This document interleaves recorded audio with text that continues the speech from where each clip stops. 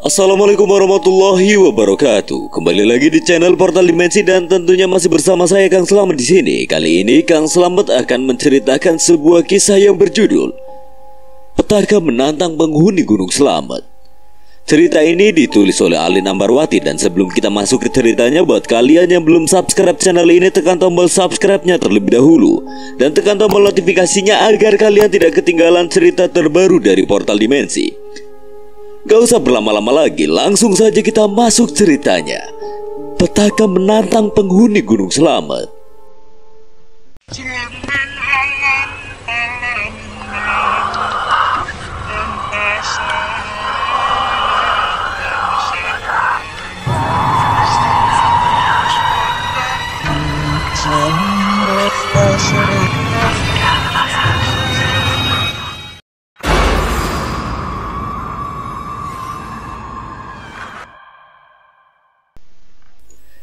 Kisah tragis terkadang datang karena ucapan yang tidak mampu dijaga dengan bijak. Karena sikap yang tidak bisa dijaga dengan bijak pula hingga takdir buruk datang dengan sendirinya akibat ucapan dan sikap yang semena-mena. Manusia hidup berdampingan dengan makhluk lainnya, makhluk yang bisa dilihat dengan mata hingga makhluk yang tak kasat mata.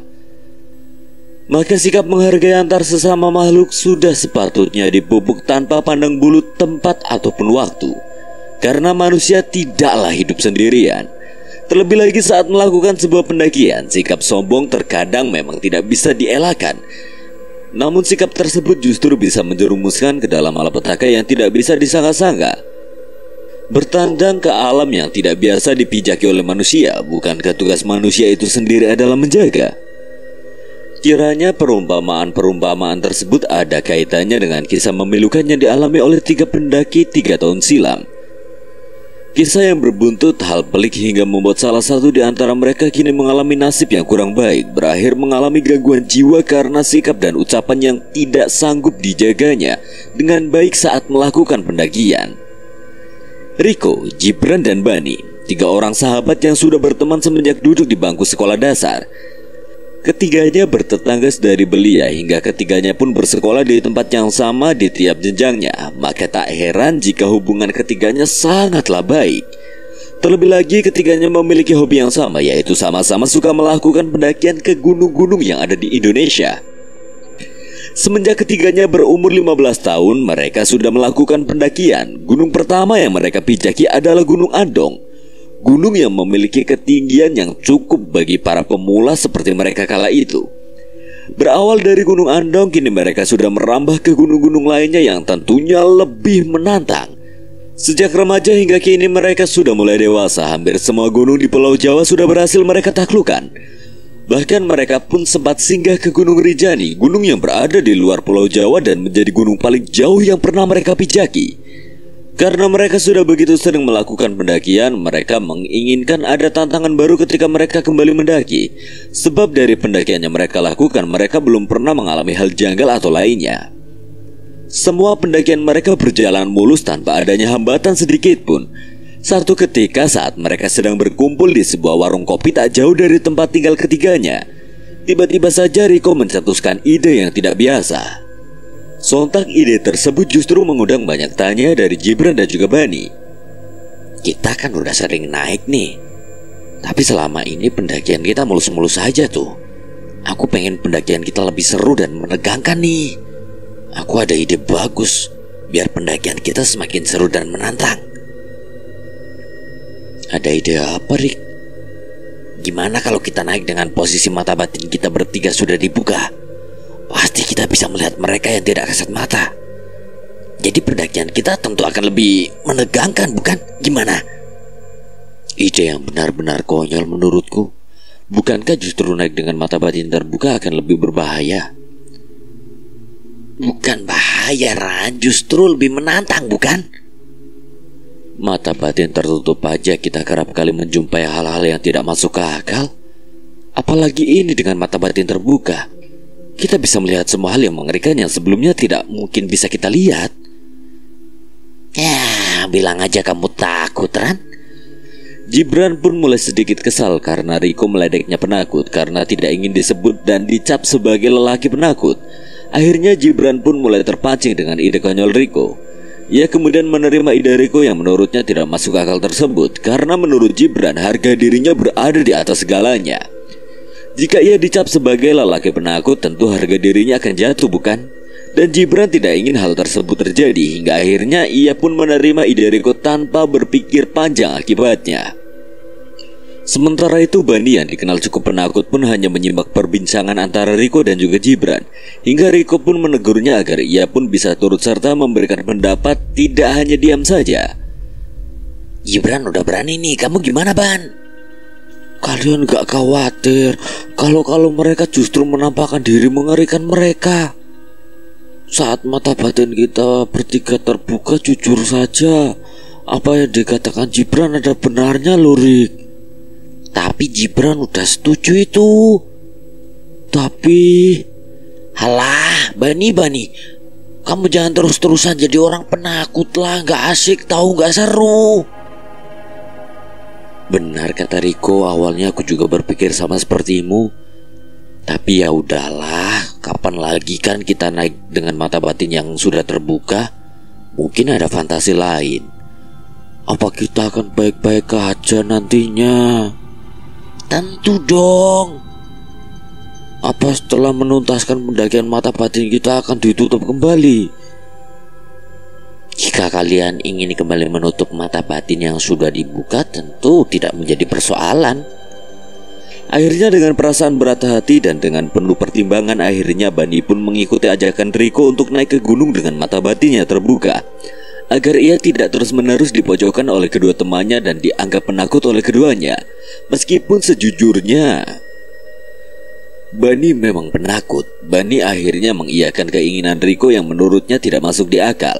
Meskipun di dalam hati kecilnya ada rasa takut akan akibat dari perbuatan yang dilakukan ketiganya namun lagi dan lagi ia kalah.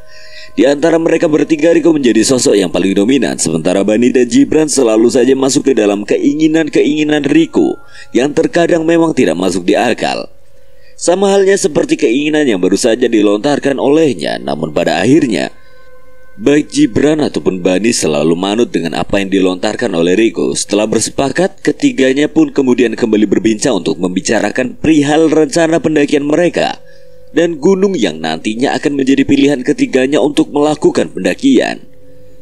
Ngomong-ngomong kita mau naik ke mana? Terus kapan rencananya? Gimana kalau lulusan nanti? Apa nggak kecepetan? Lalu mata batin yang niatnya mau dibuka gimana? Tenang, aku udah pikirin semua itu. Lusa nanti kita naik dan pagi hari sebelum naik kita lebih dulu mampir ke rumah Ki Haji Salah satu orang pintar yang ku kenal. Yakin kan semuanya aman? Aman Bani, tenang aja, percaya sama Riku nih. Ketiganya akhirnya sepakat untuk melakukan pendakian lusa nanti dan akan membuka mata batin mereka sebelum mereka melakukan pendakian. Meskipun terkesan mendadak namun ketiganya sudah terbiasa dengan hal tersebut Ketiganya sudah memiliki perlengkapan yang cukup memadai dan tentunya lengkap sehingga satu-satunya persiapan yang perlu mereka lakukan yaitu dengan berbelanja logistik keperluan untuk nantinya.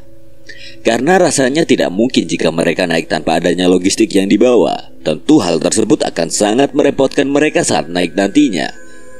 Bani lantas menawarkan diri untuk berbelanja kebutuhan logistik di swalayan yang tak jauh dari tempat ketiganya tinggal. Bani berencana untuk berbelanja setelah pulang dari tongkrongan kala itu. Mereka pun lantas melanjutkan perbincangan perihal gunung yang nantinya akan mereka pijaki dengan mata batin yang nantinya sudah lebih dulu dibuka.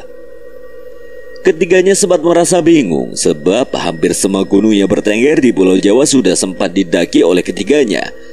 Mereka pun sempat saling diam satu sama lain saat memikirkan gunung yang akan mereka daki Hingga akhirnya tercetuslah ide dari Gibran perihal gunung yang nantinya akan mereka singgahi Kita kan ada di Jawa Tengah nih Gimana kalau kita naik ke gunung tertinggi yang ada di Jawa Tengah aja? Gunung Selamat Ya, tepat sekali Bukankah kita pernah singgah ke sana sekali? Pernah tapi memang sudah lumayan lama sih Aku ingat sesuatu perihal Gunung Selamat. Ingat apa? Riko kemudian menceritakan perihal keangkeran Gunung Selamat yang kerap kali menjadi perbincangan banyak pendaki Terlebih lagi kita memilih jalur pendakian via Bambangan Di jalur pendakian tersebut terdapat satu posko yang sangat legend Pos Samarantu lebih tepatnya Menurut penuturan banyak orang Samarantu memiliki kepanjangan samar-samar melihat hantu Bukankah keangkeran tersebut yang dicari oleh ketiganya? Akhirnya setelah mendengar sedikit cerita horor perihal pendakian Gunung Slamet dan Pos Samarantu, ketiganya memutuskan untuk singgah ke gunung tertinggi di Jawa Tengah tersebut.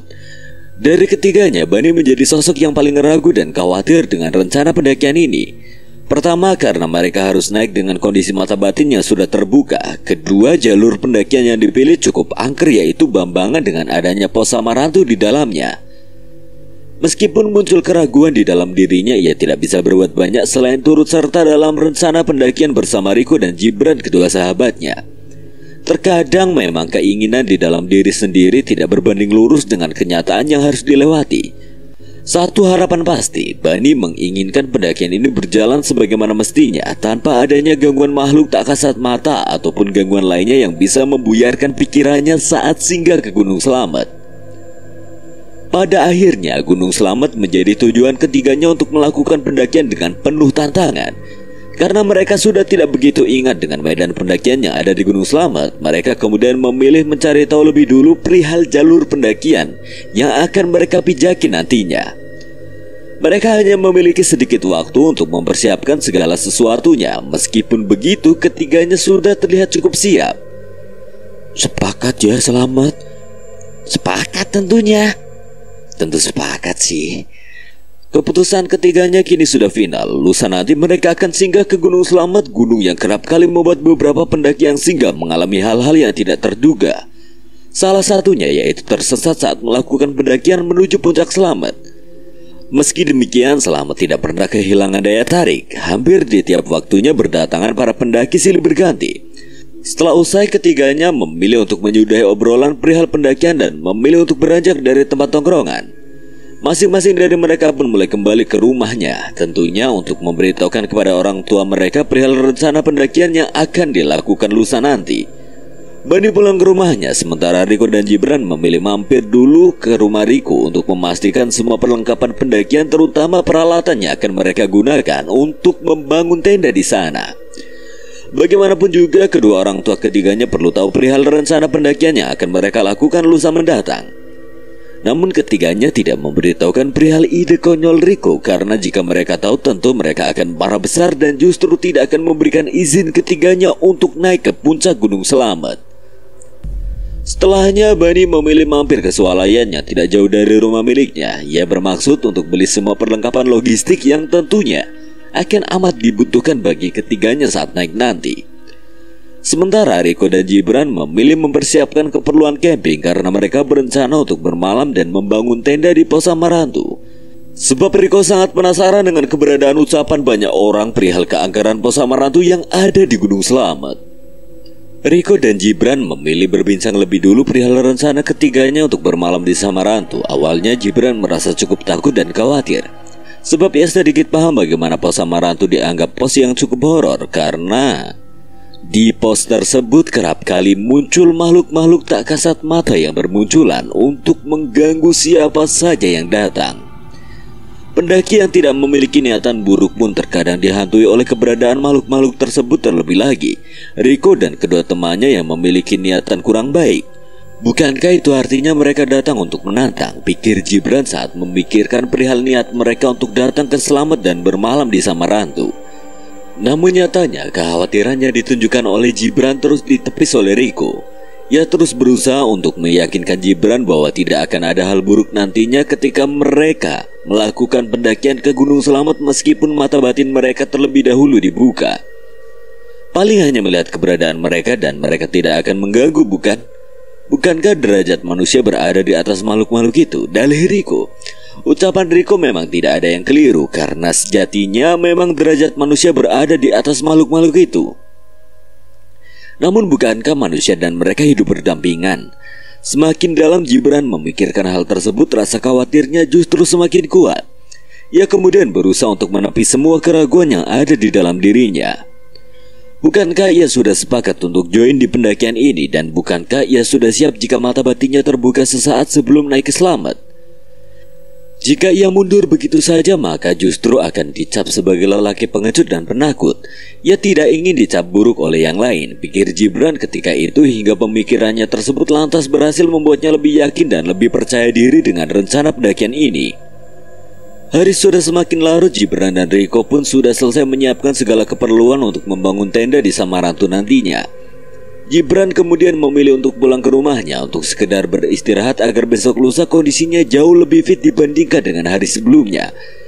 Di sisi lain, Bani sudah menuntaskan tanggung jawabnya untuk berbelanja segala kebutuhan logistik yang akan dibawanya saat pendakian nanti. Tak lupa Bani pun memberikan kabar kepada Riko dan juga Gibran. Kini segala persiapan pun sudah rampung. Persiapan logistik dan persiapan untuk camping nantinya, kini ketiganya hanya perlu menunggu besok lusa tiba dan mereka akan memulai petualangan di Gunung Selamat. Pagi hari sebelum mereka berangkat ke pos Bambangan, mereka lebih dulu mampir ke rumah Kiseto. Salah satu orang pintar yang mampu membuka mata batin seseorang, rumahnya tidak begitu jauh dari rumah ketiganya namun juga tidak begitu dekat. Mereka bertiga memutuskan untuk datang pagi-pagi sekali dengan menggunakan sepeda motor.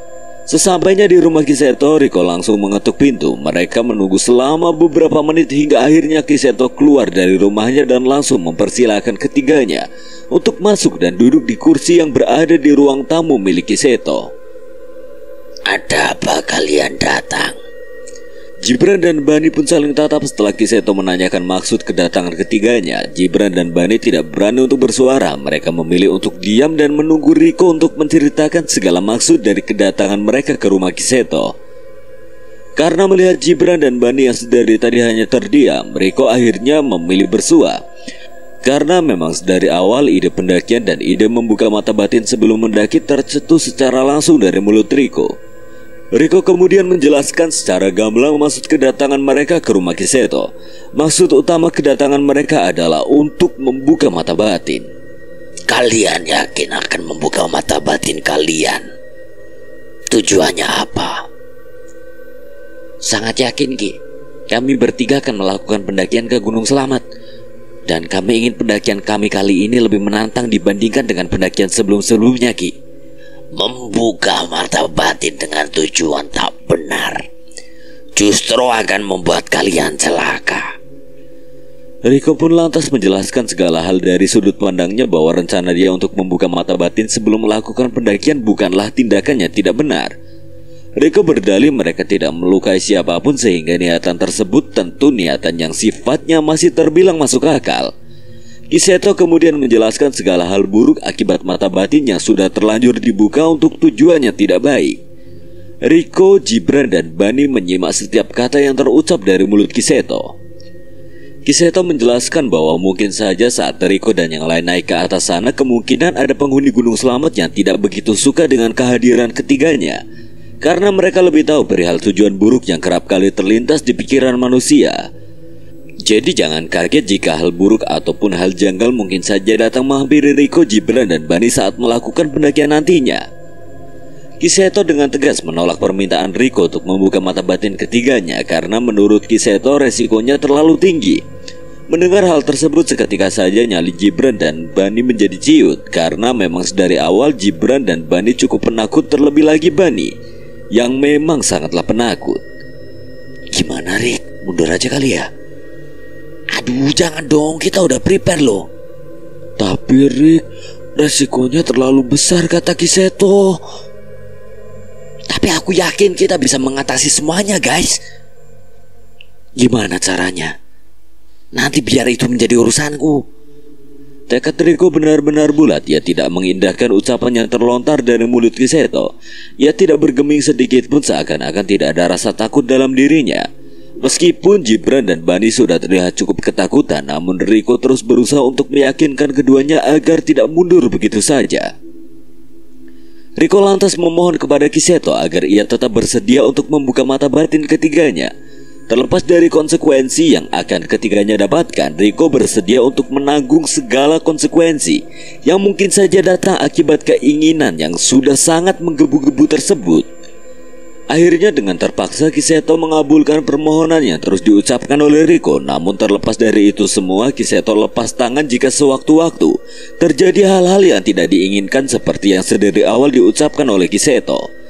Riko menyetujuinya asal mata batin ketiganya dibuka secepatnya. Terjadilah kesepakatan antara Kiseto dan Riko dan juga yang lainnya. Meskipun di waktu itu Jibran dan Bani masih terlihat begitu cemas namun lagi dan lagi keduanya tidak bisa mengelak dari keinginan Riko Seakan-akan keduanya tidak memiliki kekuatan untuk membantah semua hal yang terucap dari mulut Riko Kiseto kemudian membuka mata batin ketiganya dengan perasaan berat hati. Tidak butuh waktu yang lama untuk membuka mata batin ketiganya Sehingga selang dua jam semua proses berhasil dituntaskan oleh Kiseto. Setelahnya Riko langsung memberikan upah lebih kepada Kiseto. Ia pun lantas mengajak Jibran dan Bani untuk bergegas pergi Sebab selepas dari rumah Kiseto, ketiganya akan langsung pergi ke pos Bambangan dengan menggunakan sepeda motor. Kali ini mereka tidak saling berboncengan, ketiganya membawa sepeda motor masing-masing naik ke selamat sekalian touring, ungkap Riko. Tepat pukul 10 pagi ketiganya berangkat menuju base camp Bambangan. Ketiganya akan melewati alas roban yang dikenal cukup angker dan kerap kali muncul gangguan-gangguan dari makhluk tak kasat mata. Sontak hal tersebut semakin membuat Riko penasaran. Ia ingin memastikan apakah mata batinnya benar-benar sudah terbuka atau justru masih tertutup seperti sebelumnya. Tibalah mereka di alas roban, Riko mengajak Gibran dan Bani untuk berhenti sejenak tepat di jam 12 siang. Ketiganya mencoba mengamati sekeliling, namun ketiganya tidak melihat apa pun di sana. Kalian berdua lihat sesuatu yang aneh gak? Sesuatu yang aneh bagaimana, Rik? Makhluk halus lurahan Nggak ada ya? Kamu Ban? Nggak ada juga. Aku nggak lihat apa pun. Loh, kok justru nggak ada? Apa mata batin kita bertiga masih tertutup ya?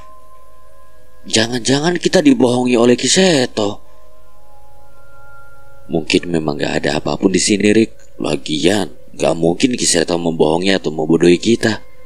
Dia kan cukup famous di lingkungan kita. Benar juga sih.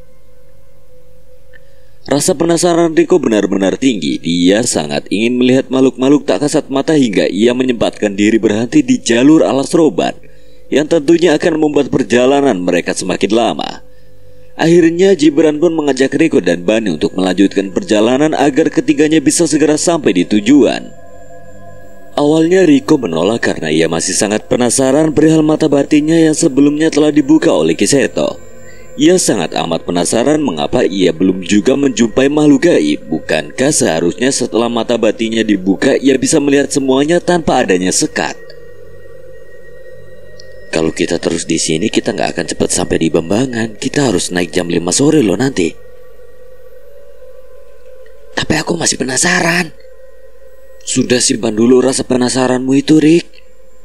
Akhirnya setelah dibujuk oleh Jibra dan Bani Riko akhirnya mau untuk melanjutkan perjalanan. Saat ketiganya tiba di ujung jalan alas roban Bani yang berada di posisi paling depan tiba-tiba membanting setirnya bahkan ia hampir terjatuh ke tepi alas. Bani melihat bayangan hitam tiba-tiba muncul di hadapannya begitupun dengan Jibran yang saat itu berada tepat di belakang Bani. Keduanya melihat hal serupa, mereka pun oleng namun berhasil mengendalikan laju motor. Bahkan keduanya pun sempat beristighfar dengan nada yang cukup keras karena saking kagetnya dengan apa yang mereka lihat. Sontak kejadian tersebut membuat Riko yang berada di belakang keduanya pun ikut kaget karena memang Riko tidak melihat apa pun. Riko akhirnya menegur Bandi dan juga Jibran. Hati-hati dong kalau bawa motor. Kalian lihat apa sih sampai kaget begitu? Itu tadi aku lihat bayangan hitam tepat di depan mataku, Rick. Jadi refleks aku langsung banting setir. Ran, kamu juga lihat hal yang sama? Iya, Rick. Sumpah kaget banget. Tapi kok aku nggak lihat apa pun ya? Jangan-jangan mata batinku belum seutuhnya terbuka. Untung aja kamu nggak lihat bayangan itu, Rick. Kalau sampai kamu lihat, pasti akan mengalami shock yang sama seperti kami. Ah, tapi itu malah yang aku tunggu Ban Riko pun kesal karena hanya dia yang belum bisa melihat hal-hal gaib Ia merasa dibodohi oleh Kiseto ia pun memilih untuk melaju di paling depan dan mempercepat laju kendaraannya. Bandi dan Jibran mengingatkan Riko agar ia tidak melajukan motornya dengan kencang. Namun peringatan itu nyatanya tidak diindahkan oleh Riko. Riko pun melaju paling awal sementara Bani dan Gibran tertinggal cukup jauh. Namun sesaat sebelum Riko melintasi perbatasan alas roban tiba-tiba saja ia merasa seperti menabrak sesuatu. Ia menghentikan laju motornya dan mengecek apa yang baru saja ditabrak olehnya. Benar saja Riko ternyata memang menabrak seekor kucing berwarna hitam Seketika saja pikirannya menjadi kacau Karena ia paham jika menabrak kucing hitam di dalam perjalanan menjadi salah satu pertanda buruk Kala itu Riko tidak langsung mengambil tubuh kucing hitam yang sudah berlumuran darah. Di satu sisi ia ingin menguburkan kucing tersebut sebagaimana mestinya Namun di sisi lain ia cukup takut. Tak lama kemudian Bani dan Gibran pun tiba. Keduanya langsung menanyakan apa yang terjadi kepada Riko Mengetahui bahwa Riko baru saja menabrak kucing hitam, keduanya langsung menyuruh Riko untuk menguburkannya, namun Riko enggan untuk melakukannya. Akhirnya Riko memilih untuk meninggalkan tubuh kucing hitam itu dan juga meninggalkan Jibran dan juga Bani. Lebih baik kita pergi aja, toh kucing itu sudah mati dan tidak akan mungkin bisa hidup lagi. Jangan gitu, Rik. Kamu harus tetap bertanggung jawab. Riko tidak mendengarkan ucapan Jibran dan memilih untuk pergi Sementara Jibran dan Bani memilih untuk menguburkan kucing hitam yang sudah mati tersebut secara layak Bagaimanapun mereka berdua tidak bisa mengabaikan kucing itu begitu saja Keduanya menguburkan kucing tersebut tepat di tepi alas roban sembari memohon maaf atas sikap yang ditunjukkan oleh Riko Mungkin saja pikiran Riko memang sedang kacau sehingga ia enggan untuk bertanggung jawab atas apa yang sudah diperbuatnya setelah selesai menguburkan kucing tersebut, keduanya bergegas melajukan perjalanan dan menyusul Riko. Keduanya memilih hening dan tidak ingin menyudutkan Riko atas sikap buruk yang baru saja dilakukan olehnya. Sebab Gibran dan Bani tidak ingin nantinya suasana pendakian mereka menjadi kacau hanya karena persoalan kucing hitam yang tewas tertabrak oleh Riko. Setelah menempuh perjalanan yang cukup panjang, mereka akhirnya sampai di base camp Bambangan. Ketiganya lalu memutuskan beristirahat sejenak untuk sekedar melepas penat sebelum nantinya memulai pendakian. Ketiganya mampir di salah satu warung tak jauh dari base camp mereka kemudian saling berbincang. Kok kamu tadi malah gak mau urus kucing itu sih Rick? Pikiranku kacau Ran, maaf ya. Tapi kalian berdua udah urus kucing itu bukan? Udah, bahkan kami udah menguburkannya dengan layak. Lain kali jangan bertindak seperti itu, Rick. Khawatir nantinya malah kamu terkena apes. Iya, aku nggak akan mengulanginya lagi. Ketiganya lantas melanjutkan istirahat mereka dengan makan dan minum di warung yang mereka singgahi. Waktu kini sudah mulai beranjak sore, mereka kemudian memilih memulai pendakian. Ketiganya lantas mendaftarkan diri di base camp pendakian dan langsung memulai pendakian kala itu juga. Tujuan utama mereka adalah pos Samarantu karena memang dari awal Riko sangat ingin membangun tenda di Samarantu. Pos yang dikenal dengan keangkerannya tersebut, kemungkinan besar mereka akan sampai di Samarantu ketika hari sudah petang. Namun hal tersebut tidak menjadi persoalan sebab saat malam hari tentunya semakin banyak makhluk gaib yang menampakkan diri bukan? Itu artinya Riko dan yang lainnya bisa melihat kehadiran mereka secara langsung. Aku udah tidak sabar ingin segera sampai di Samarantu. Kita yakin mau bangun tenda di sana? Sangat yakin dong, Ban. Samarantu itu gerbangnya dunia lain, Lurik. Kita aja kalau melintas di sana tidak boleh berhenti. Tapi kenapa kita justru mau bangun tenda di sana? Jangan bilang kamu takut. B bukan begitu. Ya kan, kamu pasti takut. Enggak kok. Ya udah kita bangun tenda di sana, aku setuju. Lagi dan lagi, Bani merasa terpojokan oleh Riko sehingga ia dengan berat hati mengikuti apa yang menjadi rencana awal dari Riko. Sementara Gibran tidak begitu khawatir, ia sudah cukup berani sekarang. Perjalanan ketiganya pun sangatlah mulus, mereka tidak melihat adanya hal-hal yang aneh. Bahkan mereka tidak melihat makhluk gaib satupun di sepanjang perjalanan menuju pos Samarantu. Karena tidak melihat hal janggal, perasaan Bani mulai semakin lega meskipun sedari awal ia setuju untuk mengikuti semua ide konyol Riko. Namun jauh di dalam lubuk hatinya ia tidak bisa membohongi dirinya sendiri bahwa ia benar-benar takut jika sewaktu-waktu muncul makhluk gaib tepat di depan matanya tanpa adanya sekat sedikit pun. Suasana di Gunung Selamat kala itu tidak begitu ramai namun tidak juga sepi.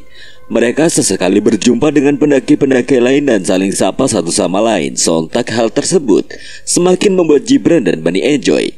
Mereka bahkan perlahan-lahan mulai lupa jika mata batin mereka sudah terbuka saat itu. sejauh ini semuanya masih aman. Aku benar-benar lega. Aku justru sebaliknya.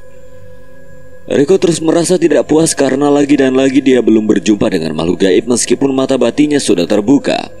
Ia terus menganggap pendakian ini kurang menantang padahal mereka baru saja memulai pendakian dan bahkan untuk bisa sampai di Samarantu pun perjalanan mereka masih cukup panjang.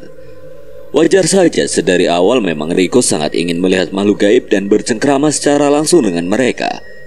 Namun memang waktu belum mengizinkan keinginan Riko tersebut terwujud kala itu. Udahlah Rick, lebih baik enjoy nikmati perjalanan kita. Kalaupun kita tidak menjumpai mereka, bukankah itu tidak akan menjadi masalah besar? Tapi tetap sama saja, Ran. Aku ingin pendakian ini jauh lebih menantang dibandingkan dengan pendakian-pendakian kita sebelumnya. Saat Riko mengatakan hal tersebut, tiba-tiba saja petir menyambar dan hal tersebut benar-benar mengagetkan Riko dan yang lainnya. Langit yang semula masih terang kini mendadak berganti gelap, mendung pun datang tanpa permisi. Sepertinya mau turun hujan. Lebih baik kita percepat langkah supaya kita bisa sampai di pos 3 dan mencari tempat untuk singgah. Aku setuju tuh. Ketiganya lantas berjalan lebih cepat dibandingkan dengan biasanya Namun suara petir yang menggelegar terus saja bersaut-sautan Ketiganya nampak terlihat cemas karena memang mereka tidak membawa jas hujan sebagai persiapan saat mereka sedang terburu-buru, tiba-tiba saja ketiganya dihadang oleh salah seorang lelaki bertubuh kurus dengan pakaiannya combang camping dan wajah yang nampak begitu lusuh. Ia menghadang langkah Riko dan yang lainnya. Tatapannya begitu tajam menatap mereka bertiga seolah-olah ada maksud tersirat dari sikap yang ditunjukkan olehnya. Riko merasa tidak terima dengan sikap yang ditunjukkan oleh pemuda tersebut. Terlebih lagi, pemuda itu tidak mengucapkan sepatah kata pun kepada mereka bertiga. Ia hanya menghadang dan mengganggu perjalanan ketiganya. Maksudnya apa nih bang? Kok abang ada kami? Sabar Rick, sabar Sepertinya dia sedikit kurang waras Mana ada orang gak waras yang bikin susah orang waras? Justru yang waras tidak akan bikin susah Rick Riku terdiam namun wajah amarahnya benar-benar tidak bisa ia tutupi begitu saja. Mereka memang sedang terburu-buru jadi wajar saja jika mereka marah saat dihadang oleh orang tak dikenal. Pemuda itu pun lantas berteriak histeris tepat di depan wajah Riko. Teriakannya tersebut benar-benar membuat Riko sangat marah. Pergi kalian! Eh, maksud abang apa nih? Kenapa abang malah ngusir kami? Pergi! Pemuda itu berteriak sembari mendorong tubuh Riko dengan begitu kuat hingga tubuh Riko pun sempat tersungkur di atas tanah. Riko benar-benar marah dan tidak bisa memaafkan pemuda itu bahkan hampir menonjok pemuda di hadapannya tersebut. Namun berhasil dilerai oleh Bani dan juga Gibran Rasanya memang benar-benar aneh jika memang pemuda di hadapan mereka memang benar orang tidak waras Lalu bagaimana pemuda ini bisa sampai di atas ketinggian bahkan seorang diri? Namun dari pakaian sombang samping yang dikenakan olehnya sangatlah mirip dengan pakaian seorang pendaki. Apa mungkin dia adalah seorang pendaki yang tersesat atau mungkin ia mengalami kecelakaan saat pendakian? Jatuh ke dalam jurang namun kondisi kesehatannya terganggu. Entahlah banyak sekali asumsi yang muncul dari pikiran Gibran dan juga Bani Karena tidak ingin menambah suasana saat itu menjadi semakin kacau Akhirnya Bani dan Gibran menarik tangan Riko dan membawanya menjauh dari pemuda tersebut Agar tidak lagi terjadi pertikaian di antara keduanya. Kami akan pergi bang, tapi mohon berjalan. Turun! Akhirnya dengan berat hati mereka memilih untuk turun beberapa saat. Alih-alih turun ke base camp ketiganya justru memilih bersembunyi di tempat yang tidak dapat dilihat oleh pemuda itu Mereka menunggu sampai pemuda aneh tersebut benar-benar enyah Ketiganya mengawasi dari kejauhan. Namun saat ketiganya sedang mengawasi gerak-gerik pemuda aneh tersebut Mereka benar-benar syok ketika melihat pemuda tersebut secara tiba-tiba menghilang tanpa adanya jejak. Sontak hal tersebut membuat mereka kebingungan apa pemuda tersebut benar-benar manusia. Atau justru pemuda itu adalah hantu karena mata batin mereka sudah terbuka dari awal. Aku rasa dia orang gila Ucap Riko masih dengan amarahnya Mereka tidak ingin terlalu mempersoalkan perihal manusia atau bukan Yang dipikirkan oleh mereka saat ini adalah bagaimana mereka bisa segera sampai di pos 3 dan memilih tempat untuk singgah sementara Gerimis pun mulai turun. Mereka pun memilih untuk tidak lagi memikirkan pemuda yang sebelumnya mendatangi mereka. Melanjutkan perjalanan jauh lebih penting dibandingkan harus memikirkan hal yang tidak jelas. Akhirnya setelah menempuh perjalanan yang cukup panjang, mereka sampai di pos 3. Mereka kemudian mencari pohon yang cukup rindang dan memilih berteduh di sana sampai gerimis malam itu benar-benar reda. Mereka juga memilih beristirahat lebih dulu untuk sekedar minum dan makan makanan ringan. Jujur aku masih jengkel sih. Kenapa lagi, Rick? Karena pemuda itu. Anggap aja dia benar-benar orang gila, Rick. Jangan buat pikiranmu sendiri kacau hanya karena persoalan yang gak jelas. Akhirnya setelah Bani dan Gibran membujuk Riko berkali-kali, ia akhirnya lulu dan mulai perlahan-lahan meredamkan emosinya. Meskipun harus melalui banyak obrolan, namun Gibran dan Bani lega akhirnya usahanya berhasil. Setelah beberapa waktu beristirahat dan hari pun sudah semakin larut, mereka memilih untuk melanjutkan perjalanan menuju Samarantu. Dulu Samarantu menjadi pos pertama jalur pendakian Gunung Selamat via Bambangan Namun sekarang ini Samarantu menjadi pos keempat di jalur pendakian Bambangan. Namun kemistisannya sedari dulu hingga saat ini masih belum pudar. Karena gerimis saat itu sudah reda Mereka akhirnya memilih melanjutkan perjalanan. Mereka berjalan lebih santai setelah sebelumnya mereka berjalan begitu cepat dan mengalami gangguan dari pemuda yang tidak mereka kenal. Samarantu pun kini di depan mata. Riko semakin excited karena ia benar-benar sudah tidak sabar untuk membuktikan apa yang menjadi perbincangan banyak pendaki selama ini. Sementara Gibran dan Bani justru bersikap sebaliknya. Keduanya khawatir kalau Samarantu akan menjadi titik di mana keduanya mengalami hal janggal yang sebelum-sebelumnya belum pernah dialami oleh mereka. Namun mereka berusaha untuk tetap mengontrol diri mereka agar lebih berani. Bani terlihat mulai pucat, mulutnya tidak berhenti untuk melantunkan doa ataupun ayat Al-Quran yang ia kuasai. Sejatinya Bani memang sangat penakut meskipun ia sudah berusaha untuk melawan rasa takutnya tersebut namun nyatanya ia tidak bisa menghilangkan perasaan itu begitu saja. Meskipun sedikit hal janggal yang dialami olehnya selama pendakian ini namun tetap saja perasaannya benar-benar tidak tenang. Dan ia berharap Kiseto gagal membuka mata batinnya sehingga ia tidak perlu melihat hal-hal yang sebelumnya belum pernah dilihat olehnya. Terlebih lagi berkaitan dengan hal-hal yang mistis. Bani lantas membisikkan rasa takutnya kepada Jibran. Jibran berusaha untuk menenangkan Bani semampunya. Udah Ban, kalau memang kita nantinya akan melihat mereka, aku yakin mereka tidak akan ganggu kita. Selama kita bersikap dan berucap baik. Tapi aku benar-benar takut, Ran. Bani tidak berani mengutarakan rasa takutnya secara gamblang karena ia tidak ingin Riko meledeknya dengan sebutan penakut untuk kesekian kalinya. Meskipun sejujurnya ia benar-benar penakut, mereka akhirnya tiba di Samarantu. Ketika sampai di sana, mereka langsung mencari titik yang cukup landai untuk mereka membangun tenda. Di Samarantu, mereka menjumpai banyak sekali sesajen berceceran di sana. Kok banyak sajen ya? Sepertinya banyak orang yang baru saja melakukan ritual persembahan. Memangnya Samaratu sering dijadikan tempat pemujaan? Entahlah, aku tidak begitu paham. Aku kan bukan penduduk sini. Bau kemenyan dan bau dupa benar-benar ketara. Aroma sesajen tersebut benar-benar mengganggu mereka. Karena mereka memang tidak begitu terbiasa dengan aroma sajen. Terlebih lagi saat berada di atas gunung, mereka pun kemudian menemukan tempat yang cukup landai di dekat pohon yang benar-benar besar dan terlihat rindang. Namun di bawah pohon itu sangat banyak sesajen berserakan. Deko kemudian menyingkirkan sajen itu dengan kakinya tanpa permisi sedikit pun. Sontak hal tersebut membuat Gibran dan juga Bani benar-benar kaget.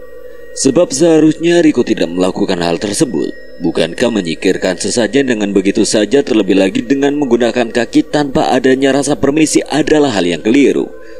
Pikir Gibran dan juga Bani.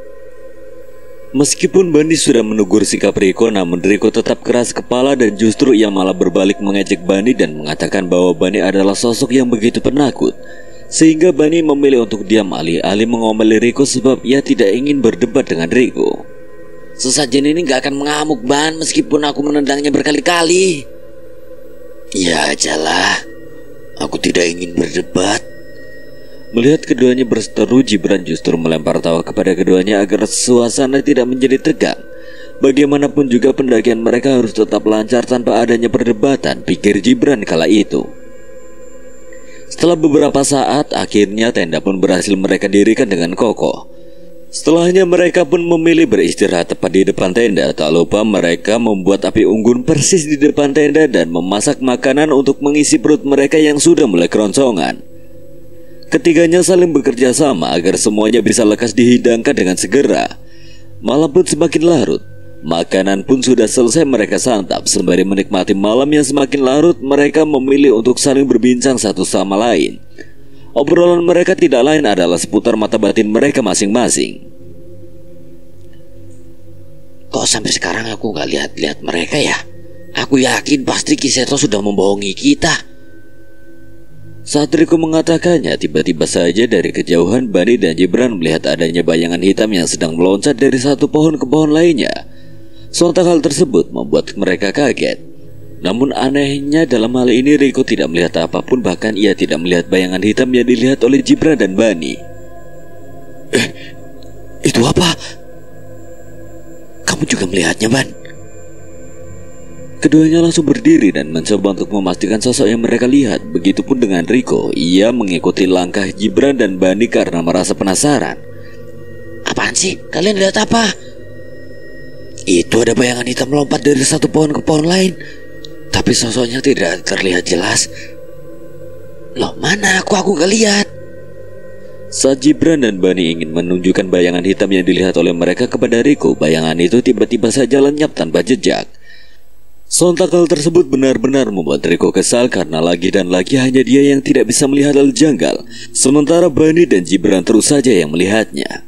Sumpah, aku kesal banget nih. Aku dibodohi oleh Kiseto ini pasti. Masanya kalian berdua yang melihat keberadaan mereka sementara aku masih belum bisa melihat apa pun. Riko melampiaskan kekesalannya tersebut. Riko kemudian beranjak dari tempatnya duduk saat itu. Ia memilih berjalan beberapa langkah ke depan memandang pohon besar yang berada tak jauh dari tenda mereka. Ia mengamuk sembari berteriak histeris karena rasa kesalnya tersebut. Wahai penghuni selamat, keluar kalian, tampakkan wujud kalian di hadapanku. Melihat apa yang dilakukan oleh Riko, Jibran dan Bani benar-benar kaget. Lagi dan lagi Riko bersikap semaunya sendiri. Hanya karena ia tidak melihat apa yang ingin dilihatnya lantas ia bertindak tanpa dipikirkan dulu apa akibatnya. Mereka tidak sadar bahwa saat itu ada banyak sekali makhluk yang sedang mengintai ketiganya. Jibran dan Bani pun mencoba untuk menegur Riko. Namun ia masih tetap keras kepala. Keduanya juga mengajak Riko untuk balik ke tenda namun Riko benar-benar enggan untuk kembali ke tenda. Ia benar-benar keras kepala. Ayo Rik balik, khawatir mereka sedang mengintai kita di sini. Apalagi kamu baru aja berteriak menantang mereka. Tidak seharusnya kamu bertindak seperti itu.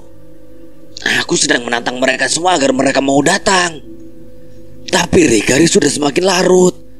Kalian tidur aja dulu aku masih ingin di sini. Gibran dan Bani benar-benar tidak habis pikir dengan jalan pikiran Riko. Sebegitunya ia ingin melihat mereka sampai-sampai ia tidak bisa mengendalikan dirinya sendiri. Satu hal yang mereka khawatirkan yaitu makhluk itu tidak terima dengan sikap Riko yang sudah menantang mereka untuk datang. Akhirnya Bani dan Jibran pun memilih untuk kembali ke tenda. Kantuk sudah menghampiri mereka. Selain itu juga mereka tidak ingin lagi melihat sikap konyol yang ditunjukkan oleh Riko. Meskipun mereka sudah mencoba untuk menasehati Riko, namun Riko benar-benar keras kepala dan tidak ingin mendengar apa yang diucapkan oleh keduanya. Sehingga Gibran dan Bani berpikir bahwa ucapannya akan sia-sia dan lebih baik mereka tidur dan beristirahat. Ya udah kita balik ke tenda aja. Kita mau tidur, udah ngantuk. Jaga diri baik-baik. Lekas balik ke tenda, Rick. Ya. Mereka akhirnya meninggalkan Riko seorang diri. Hari pun sudah semakin larut, hawa dingin sudah mulai dirasakan oleh Riko. Angin berhembus semakin kencang karena tidak tahan dengan hawa dingin di Samarantu. Tak lama setelah Jibran dan Bani masuk ke dalam tenda, Riko akhirnya menyusul mereka. Melihat Riko balik ke tenda dengan cepat, Bani dan Jibran merasa sedikit lega karena memang sebelumnya mereka sangat khawatir dengan keselamatan Riko.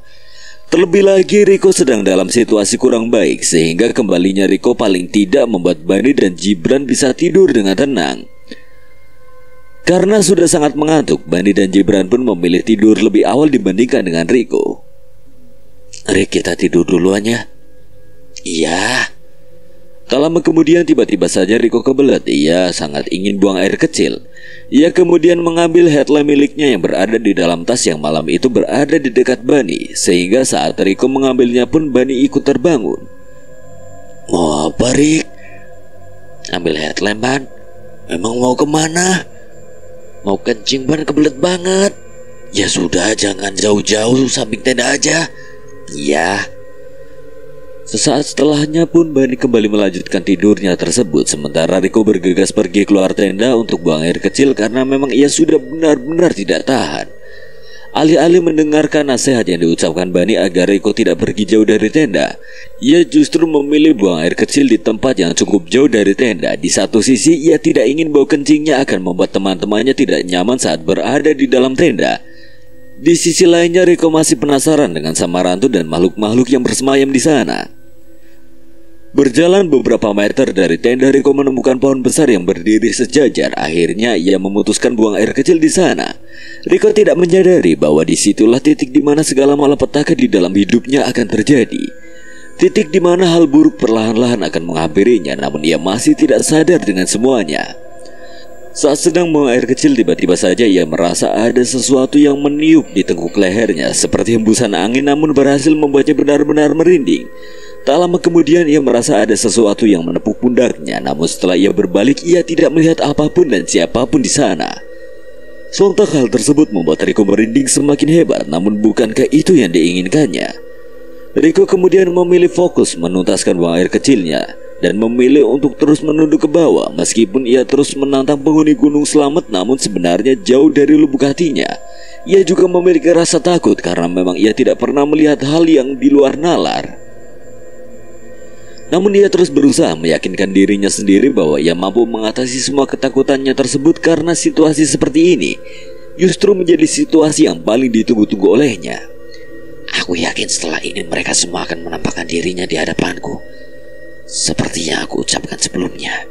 Ia kemudian mengumpulkan nyalinya sendiri dan mulai menaikkan dagunya untuk menandakan bahwa ia sudah berani untuk menghadapi segala hal yang ada di depannya nanti, terlebih lagi menghadapi makhluk-makhluk yang ada di Samarantu. Saat sedang buang air kecil, Riko kemudian menoleh ke arah tengah-tengah pohon kembar yang dikencinginya. Anehnya ia melihat seorang gadis berpakaian layaknya gadis desa di sana karena ingin memastikan apa yang dilihat olehnya. Akhirnya Riko mengarahkan senter yang digenggamnya ke titik di mana ia melihat keberadaan gadis desa tersebut. Kaki menjadi titik di mana Riko menyentari perempuan itu untuk sekedar memastikan bahwa perempuan yang dilihatnya bukanlah hantu. Bagaimanapun juga ia cukup takut jika ia langsung melihat hantu saat itu juga. Setelah memastikannya ternyata kaki perempuan itu napak di atas tanah, Riko semakin yakin bahwa perempuan itu bukanlah hantu. Wajah perempuan itu sangatlah cantik, senyumannya pun nampak begitu manis. Baru pertama kali Riko melihat perempuan dengan kecantikan yang tidak biasa. Riko akhirnya memilih untuk mendekat ke arah perempuan itu. Sendirian aja mbak. Perempuan itu tersenyum begitu manis kepada Riko. Ia menjawab pertanyaan Riko dengan menggelengkan kepalanya untuk menandakan bahwa ia tidak seorang diri di sana, melainkan ia bersama teman-temannya yang lain. Dari mana asalnya mbak? Saya penduduk sini, Mas. Saya tinggal di Selamat. Saya di sini bersama teman-teman yang lain. Semula Riko tidak percaya dengan apa yang diucapkan oleh perempuan itu sebab rasanya tidak mungkin ada kehidupan masyarakat di atas gunung selamat. Bukankah mustahil ada pemukiman di atas gunung dengan tanah yang menanjak? Namun perempuan itu terus berusaha meyakinkan Riko bahwa semua yang diucapkannya benar adanya. Perempuan itu menunjuk ke arah kegelapan di tengah hutan yang mengatakan bahwa tempat tinggalnya berada jauh di sana. Namun anehnya Riko tidak melihat apa pun karena memang tempat yang ditunjukkan oleh perempuan itu sangatlah gelap. Meski demikian, Riko melihat kehadiran gadis-gadis lain tak jauh dari tempat dia bertemu dengan perempuan berparas cantik tersebut. Para gadis itu juga tersenyum kepada Riko. Alhasil Riko tidak menaruh curiga sedikit pun dan percaya bahwa ada kehidupan di balik hutan yang begitu gelap tersebut. Perempuan itu lantas mengajak Riko mampir ke rumahnya tanpa berpikir panjang. Riko mengiyakan ajakan perempuan yang baru saja ditemuinya. Tanpa berpikir panjang hal buruk di balik semua itu. Pemukiman yang ditunjukkan oleh perempuan itu berada di balik pohon kembar yang menjadi tempat Riko buang air kecil. Karena Riko tidak kunjung beranjak dari tempatnya meskipun sudah mengiyakan ajakan perempuan itu, para gadis pun lantas menarik tangan Riko masuk ke dalam hutan yang begitu gelap. untuk bisa sampai di pemukiman para perempuan itu. Dari dekat, para gadis itu terlihat semakin manis sehingga hal tersebut benar-benar mampu membius Riko. Riko bahkan tidak berkedip sedikit pun, ia benar-benar tidak bisa memalingkan tatapannya dari para gadis yang berada di samping mereka. Sementara para gadis itu terus melempar senyum kepada Riko, bahkan mereka sesekali melempar tawa kepada Riko. Suasana malam itu benar-benar membahagiakan bagi Riko yang sudah sangat lama tidak bercengkrama dengan banyak perempuan. Apa rumah kamu masih jauh? Sudah tidak jauh dari sini. Di sana ramai. Tentu. Apa boleh orang asing masuk ke tempatmu? Boleh kok. Riko benar-benar tidak sadar bahwa dia akan masuk ke dalam dimensi yang tidak pernah dipikirkan sebelumnya. Riko benar-benar tidak sadar bahwa malapetaka kini sudah mulai tiba. Hanya perasaan bahagia yang Riko rasakan saat itu sebab dia tidak tahu apa yang ada di balik semua kebahagiaan dan kesenangan yang dirasakan olehnya kini. Di sisi lain, Gibran dan Bani belum sadar jika Riko sudah pergi untuk beberapa waktu. Keduanya masih terlelap dalam tidur mereka yang mereka tahu Riko hanya pergi untuk buang air kecil. Mereka tidak berpikir jika Riko akan masuk ke dalam dimensi gaib yang tidak pernah terlintas di dalam pikiran mereka. Riko bersama para gadis dan perempuan yang ditemuinya itu pun lantas melewati pohon kembar berjejer tak jauh dari tenda Riko. Mereka masuk ke dalamnya tanpa adanya perasaan khawatir ataupun lainnya. Tidak lama kemudian setelah mereka melewati pohon kembar dan masuk ke dalam hutan yang begitu gelap, Kini terpampang di hadapan Riko sebuah gapura desa Riko antara percaya tidak percaya dengan apa yang dilihatnya Benarkah ini gapura desa tempat di mana kamu tinggal? Benar ayo masuk Riko sedikit ragu ketika akan masuk ke gapura tersebut. Perasaannya mulai tidak enak. Rasanya benar-benar tidak masuk akal jika ada sebuah pemukiman di atas Gunung Selamat. Sebab dari pengalaman-pengalaman pendakian Riko, ia belum pernah satu kali pun melihat adanya pemukiman di atas gunung seperti apa yang dilihatnya sekarang. Rumah-rumah yang berjejer di balik gapura itu masih seperti zaman kuno. Semua rumah mempunyai rumah joglo khas Jawa kuno. Di sana pun tidak ada penerangan. Satu-satunya penerangannya ada di pemukiman tersebut hanya berasal dari obor kayu yang berjejer rapi di tiap depan rumah joglo tersebut. Meskipun melihat banyaknya keanehan, namun Riko tidak mengucapkan secara langsung kepada perempuan yang masih berdiri di sampingnya. Ia berusaha untuk menjaga perasaan perempuan yang baru ditemuinya tersebut. Riko tidak ingin suasana di antara mereka menjadi canggung. Karena perempuan dan para gadis di sana terus memaksa Riko untuk masuk melewati gapura desa, akhirnya dengan berat hati Riko mengikuti dan menuruti semua ucapan perempuan dari para gadis di sana. Suasana pemukiman di sana sangatlah ramai, semua orang saling bercengkrama satu sama lain. Mereka pun terlihat sangat rukun, semua pakaian yang dikenakan mereka benar-benar menyerupai penduduk Jawa kuno. Mereka semua menyadari kedatanganku. Aku merasa benar-benar berbeda dari mereka semua. Di sisi lain, Bani yang ada di dalam tenda pun terbangun dari tidurnya. Dia melihat jam sudah lewat tengah malam. Ia menoleh ke arah Cibran yang saat itu masih tertidur lelap. Ia kemudian melihat ke arah tempat tidur Riko. Namun ia tidak melihat keberadaan Riko di sana. Sontak hal tersebut membuat Bani keheranan. Sebab yang ia tahu Riko hanya pergi untuk buang air kecil sebentar. Tapi mengapa ia tidak kunjung kembali ke tenda? Karena Bani merasa ada yang janggal, ia kemudian membangunkan Jibran agar mereka bisa mencari Riko dengan segera. Ran, bangun. Ah, udah pagi kaban. Riko gak ada. Maksudnya gak ada gimana? Dia tadi pamit mau buang air kecil tapi sampai sekarang dia nggak kunjung balik. Masa buang air kecil selama itu? Apa mungkin dia tersesat? Rasanya gak mungkin aku suruh dia buang air kecil tidak jauh dari tenda kok. Ya udah lebih baik kita cari aja. Keduanya keluar dari tenda untuk mencari keberadaan Riko. Keduanya mencari-cari di sekitar Samarantu. Mereka juga memanggil-manggil nama Riko namun tidak kunjung ada jawaban dari Riko. Mereka merasa aneh karena tidak kunjung menemukan Riko padahal mereka sudah menelusuri semua titik yang ada di Samarantu. Jika Riko kembali ke base camp, rasanya tidak mungkin karena mereka baru memulai pendakian. Namun jika Riko melanjutkan pendakian ke pos selanjutnya pun rasanya lebih tidak mungkin lagi karena tujuan awal Riko adalah Samarantu dan Riko tidak mungkin pergi begitu saja. Bermodalkan satu buah senter, Bani berusaha mengamati jejak langkah Riko dengan terus menyentori ke arah bawah. Dan benar saja ia melihat adanya bekas jejak kaki di ranting-ranting pohon yang berserakan di atas tanah.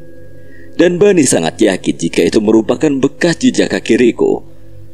Mereka berdua lantas mengikuti jejak langkah tersebut, berharap jejak tersebut membawa mereka ke tempat di mana Riko berada.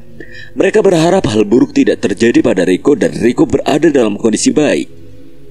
Jejak-jejakan kaki tersebut berhenti di sebuah pohon kembar yang begitu besar Firasat Bani mengatakan bahwa Riko pasti masuk ke dalamnya, namun Gibran sedikit ragu hingga Bani mencoba untuk meyakinkannya. Aku rasa Riko benar-benar masuk ke pohon kembar itu, tapi rasanya tidak mungkin deh Ban. Di dalam sana ada hutan yang terlihat begitu gelap. Apa tujuan Riko masuk ke dalamnya? Sementara aku lihat di sana tidak ada apa pun. Tapi jejak kaki yang kita yakini itu jejak kaki Riko terhenti di sini. Kan gak ada salahnya kalau kita coba masuk Ran Kalau nyatanya Riko tidak ada di sana gimana? Kita bisa balik lagi Yang terpenting kita harus terus-menerus penasaran Akhirnya mereka memilih untuk masuk ke dalam kegelapan tersebut dan mengarah ke dalam hutan yang benar-benar gelap. Meski Bani yang mengajak Gibran untuk masuk ke dalam hutan di balik pohon kembar yang amat besar itu, namun tidak bisa dipungkiri Bani benar-benar merasa ketakutan. Bahkan sesaat setelah melewati pohon kembar itu ia tidak hati-hatinya mengucap istighfar dan ia pun benar-benar merinding. Keringat mengucur melalui pelipis Bani padahal suhu malam itu sangatlah dingin. Bani terus berusaha untuk melawan rasa takutnya tersebut. Kenapa Ban bocah tamat? Takut Ran, aku benar-benar merinding berada di sini. Mau balik aja? Jangan, kita belum menemuin Riko. Tapi kamu lu gemeteran gitu aja mau pucat. Keringatmu banyak dan lihat langkahmu aja kurang yakin. Aku bisa kok melawan rasa takutku. Yakin bisa? Yakin. Mereka lantas melanjutkan perjalanan mereka mencari Riko. Mereka juga terus-menerus memanggil nama Riko meskipun Riko tidak kunjung menjawab teriakan mereka. Atau mungkin Riko memang tidak mendengar panggilan mereka. Tak lama kemudian dari kejauhan mereka melihat cahaya orange yang nampak begitu asing di penglihatan mereka. Mereka mempercepat langkah dan semakin yakin bahwa di balik kegelapan hutan ada kehidupan. Cahaya orange tersebut berasal dari obor penerangan sebuah pemukiman dunia lain yang ada di Gunung Selamat. Itu benar cahaya obor bukannya? Sepertinya memang oboran. Cahayanya orange, tapi apa mungkin di atas Gunung Selamat ada yang menyalakan obor sebegitu terangnya? Mungkin mereka yang sedang menaruh sesajen Kan di Samaran tuh banyak sekali sesajen berserakan Benar juga ya Semoga aja di sana ada Riko Tapi aku ragu jika Riko benar-benar ada di sana Kita coba masuk lebih dalam Semakin dalam mereka masuk, cahaya orange tersebut semakin ketara. Namun di sini firasat keduanya semakin tidak enak. Mereka merasakan adanya sesuatu hal yang tidak masuk akal di balik cahaya tersebut. Akhirnya ketika mereka benar-benar sampai di sumber cahaya tersebut mereka melihat sebuah pemukiman yang sangat ramai. Karena keduanya merasa begitu takut akhirnya mereka memutuskan untuk bersembunyi sembari tetap mengamati pemukiman di atas gunung selamat yang menurut mereka benar-benar aneh dan tidak masuk akal. Mereka memperhatikan tiap orang yang ada di sana berharap Riko berada di antara mereka semua dan benar saja dari kejauhan Bani melihat Riko di sana. Riko terlihat sedang dikerubuni oleh warga desa di sana. Namun dari penglihatan Bani dan Jibran, para warga yang sedang mengelilingi Riko tersebut tidak nampak seperti manusia pada umumnya sebab penampilan fisik mereka benar-benar sangat mengerikan. Ada yang wajahnya benar-benar hancur, ada juga sosok bertubuh besar dengan taring panjang di mulutnya. Ada pula wanita dengan punggung bolong penuh belatung di sana. Hampir semua warga yang mengelilingi Riko memiliki wujud yang benar-benar mengerikan. Tidak ada satupun di antara mereka yang terlihat seperti manusia. Bani dan Jibran pun bergidik ngeri saat melihat penampakan mengerikan di depan mereka. Jibran berpikir untuk pergi dari tempat tersebut. Namun Bani justru berpikir sebaliknya, jika ia pergi maka Riko akan terus dalam bahaya dan ia tidak akan bisa menyelamatkan Riko.